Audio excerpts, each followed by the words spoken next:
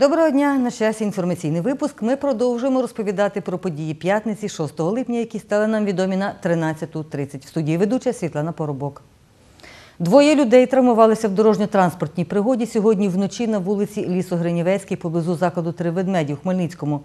Прес-секретар управління патрульної поліції в області Роман Мартинюк повідомляє, зіштовхнулися Мерседес, за кермом якого був чоловік 1974 року народження, та ЗАЗ Славута, кермував якою водій 1995 року народження. Фото автівок після зіткнення ви зараз бачите на екрані. Водій Славути виявився заблокованим у машині. Його рятувальники виймали з машини спецзасобами та доправили Хмельницьку обласну лікарню на обстеження, як і пасажирку. Причини аварії встановлюються. Лариса Довгань, завідувач приймального відділення Хмельницької обласної лікарні, повідомила, постраждалі у дорожньо-транспортній пригоді потребують додаткового обстеження. Який діагноз їм встановили, не сказала. Кількість хворих на кишкові інфекції зросла в області. Про це повідомила завідувачка відділення Хмельницької інфекційної лікарні Інна Воздовська. У червні в цьому медзакладі кишкові інфекції діагностували у 74 пацієнтів. У травні хворих було на 16 людей менше. За останні півріччя в нашому відділенні проліковано 342 хворих з гострими кишковими інфекціями. Це е, сальмонельоз, дизентерія, ботулізм, гострі гастроентероколіти та харчові токсикоінфекції. В останній час тенденція до зростання захворюваності на гострі кишкові інфекції. Минулому місяці в нас було 58 хворих. За цей місяць, за червень місяць, нас виписано 74 хворих. Зараз в Хмельницькій інфекційній лікарні з гострими кишковими інфекціями перебувають 14 пацієнтів, двоє з них в реанімації. Нова фотозона з'явиться на Проскурівській 56 у Хмельницькому. Вона буде розміщена на стіні будинку, де малює мурал художник Андрій Томчишин. Як вона виглядатиме, з'ясовувала Тетяна Ворожцова. У центрі міста на стіні будинку, де розміщений фотомузей, художник Андрій Томчишин малює новий мурал. За його задумом, частина малюнку стане фотозоною. Буде зображено будинок Берліанта, е, будинок е, колишній, е, колишній готель Проскурово, зараз де знаходиться фотомузей. І безпосередньо фотограф, фотограф старовинний зі старовинним фотокамерою старовинною великою. Перспектива буде така трошки цікаво подана у вигляді риб'ячого ока. Тут ну, фо- фо- фотографи знають, що це за такий ефект. І е, буде в монохромній гамі з цікавими відтінками. Знизу будуть два, два, дві малі скульптурних форми. Це така собі селфі-зона, е, де будуть е, так само старовинні два фотоапарати максимально реалістично подані. А це алея парасольок. Її на вулиці Подільській облаштували всередині червня. Ці зонтики вони недавно з'явилися, і це якась така нова е, штука для нас, яка в принципі в інших містах вже доволі популярна. І я так бачу, що багато хто з дівчат там собі якісь селфі робить на фоні цього. Е, Люди полюбляють щось нове, тому що їм все приїдається. І, скажімо, це дуже добре, що якісь такі речі у нас з'являються в місті.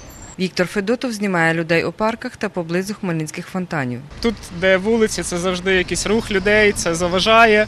А коли все квітне, воно якби зав- завжди гарно, і це якісь такі місця, які з року в рік вони стабільно якби приносять радість, там можна знімати. Перша фотозона у Хмельницькому з'явилася на початку ХХ століття. Жителі міста фотографувалися на Проскурівській. Тоді вона називалась Олександрівська. Розповідає краєзнавець Сергій Єсюнін. Брали дві точки.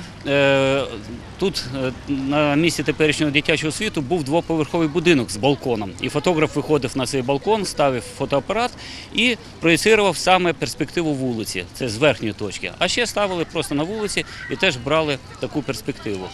Ну і можна вважати, що от ця е, початок Проскурівської теперішньої це ну, перша наша фотозона. Одна із перших фотозон у Хмельницькому середини ХХ століття це фонтан поблизу дитячого світу. Чотири жабенятки і чотири е, чаплі. Цей фонтан, що саме приємно, зберігся до теперішнього часу. І от всі хмельничани, які мали свій фотоапарат в 60-х, 70-х, 80-х роках, обов'язково своїх дітей фотографували саме на цих жабенятках. У часи радянського союзу хмельничани фотографувались на фоні танку, який нині розташований на вулиці Кам'янецькій. Нині каже Сергій Єсюнін, вибір фотозон більший. Гарна фотозона це навколо Майдану Незалежності. Всім відома алея з лавочками різнотематичними. І кожен же вибирає собі е, на свій смак е, ту лавочку, на якій можна сфотографуватися. Е, Намагання створити нову фотозону біля центрального універмагу ми бачимо. Я люблю Хмельницький, такий е, типовий знак для всіх міст, ну не тільки України, і Європи, і всього світу. Ну і е, все ж таки залишається справжньою фотозоною. Це наш центральний парк культури і відпочинку.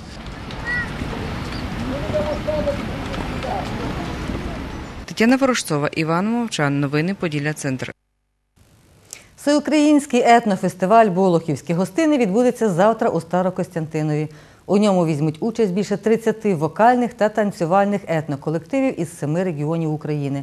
Про це повідомив автор проекту фестивалю Анатолій Біліванцев. За його словами, у місті також влаштовують майстер-класи з плетіння вінків та виставку робіт майстрів декоративно-ужиткового мистецтва.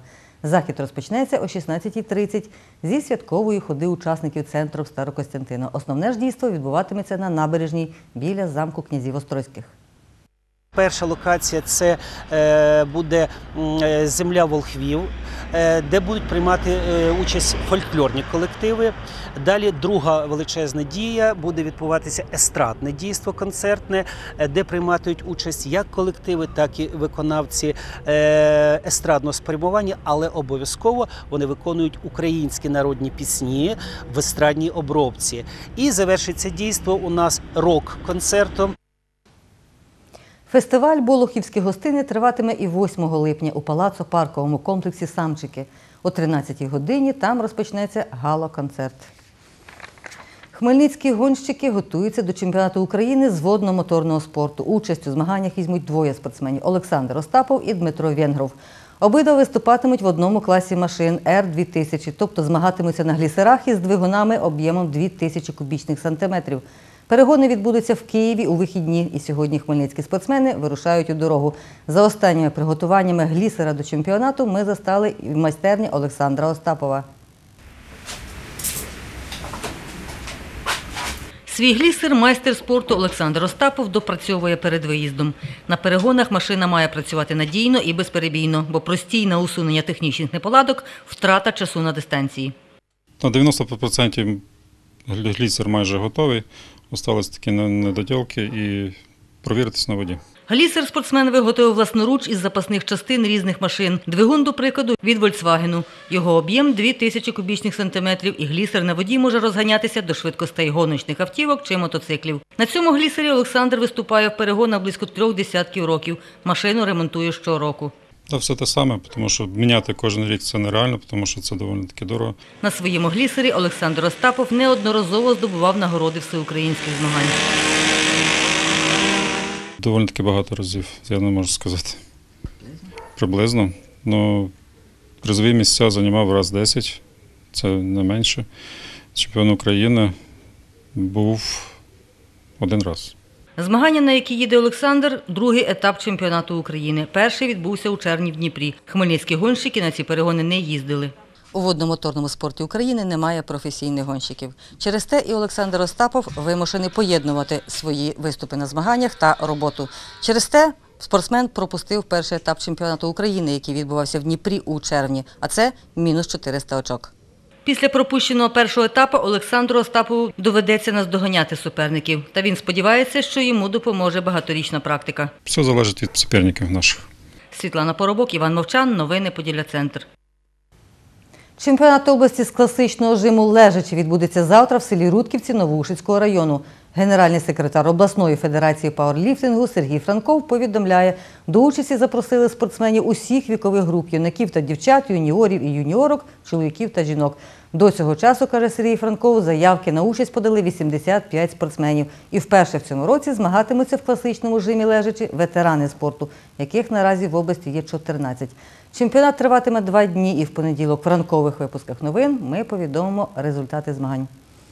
На цьому наш випуск завершено. Зустрінемося о 17-й.